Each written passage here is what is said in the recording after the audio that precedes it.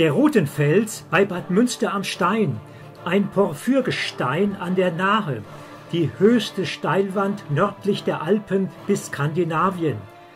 Das Felsmassiv besteht aus Rhyolith, ein Quarz-Porphyrgestein, feldspathaltig.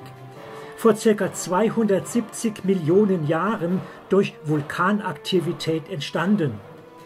Die Felsspate haben sich zum Teil in Kaolin umgewandelt. Im Umkreis ein Naturschutzgebiet und Biotop.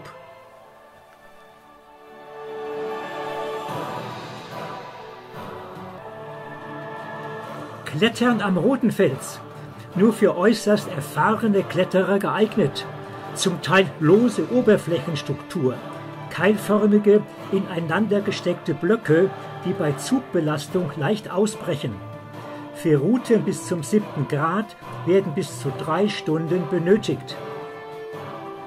Hier Ausschnitte von der SWR Sonntagstour mit Johannes Kalpers. Es wird auch ein Kletterduo vorgestellt.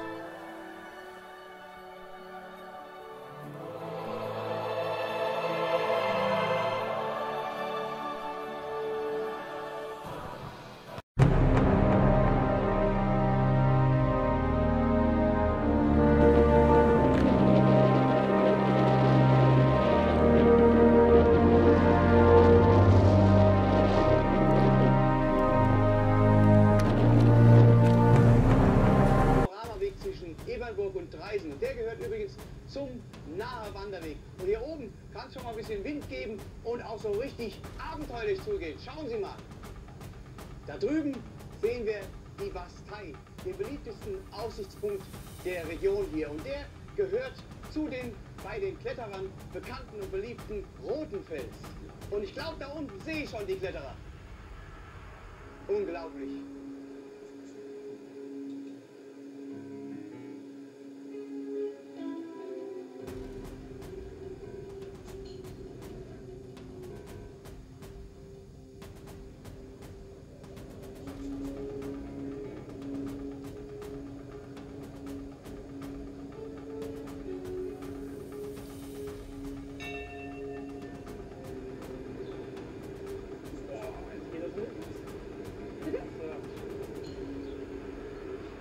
Bis hierhin habe ich mich ja noch getraut.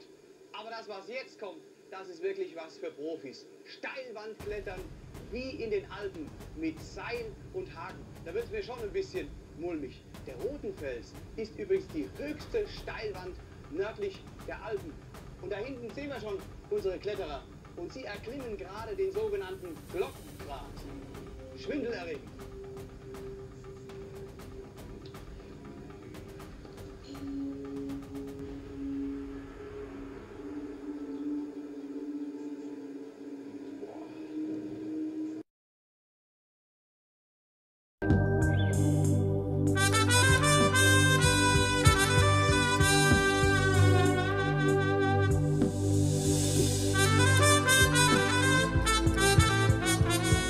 Hallo, wir sind in Australien in Adelaide gelandet und fahren Richtung ins Landinnere zum Ayers Rock.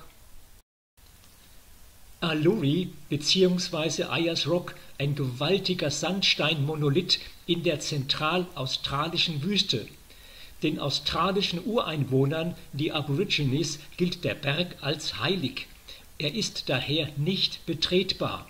Drei Kilometer lang und zwei Kilometer breit und liegt in einem Nationalpark. Die geologische Vorgeschichte wird vor 700 Millionen Jahren vor heute dokumentiert. Verklumptes Geröll und Schlamm wurden durch tektonische Prozesse an die Oberfläche gedrückt. Der aus der Umgebung heraus präparierte Arkosen-Gestein-Schichtenstapel soll bis zu sechs Kilometer tief in den Untergrund hinabreichen. Berghöhe liegt bei 863 Metern. Arkose ist eine Klasse von Sandsteinen, die sich durch einen hohen Gehalt an Feldspat auszeichnen. Zur Geologie. Das Sedimentgestein besteht aus Feldspat, Quarz, Rhyolith und Basalt. Die rötlich-braune Färbung geht auf den hohen Eisengehalt zurück. Ein faszinierendes Farbenspiel mit licht- und wetterabhängigen Variationen, ähnlich wie beim Rotenfels. An der südöstlichen Flanke des Berges sind Höhlen, die aus dem Gestein herauswittern. Auf der Bergoberfläche erkennt man blättrige, schuppige Verwitterungen